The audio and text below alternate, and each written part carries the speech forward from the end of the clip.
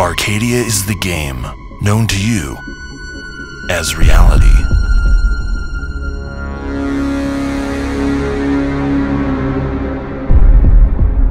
You're not aware of the code that rules your life. You don't question the playground you're living in. But I do.